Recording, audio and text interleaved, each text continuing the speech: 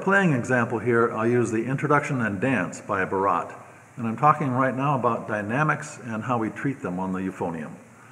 The euphonium is not a trombone. It should have a different character. Many people, however, in a solo like this, and I'll only play the first four bars, they'll see that forte and play something like this.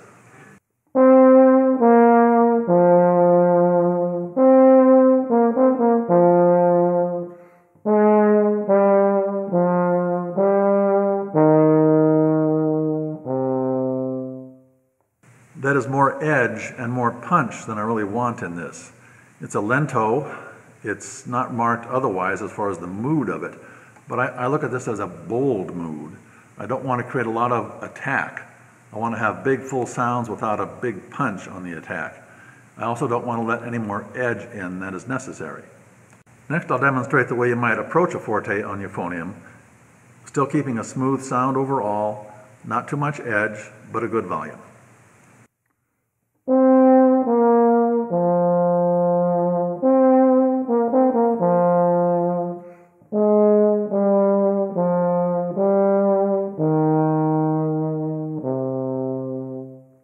Next, I'll imagine a scenario where the audience can't quite hear you, so I'm going to add a little more volume but still try to maintain the same character.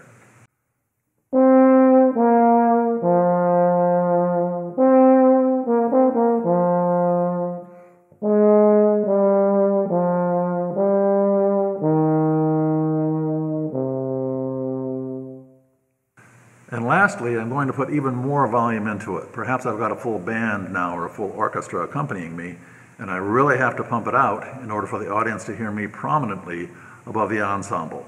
I'm still trying not to go too far into edge, and I'm still trying to not create punchy attacks.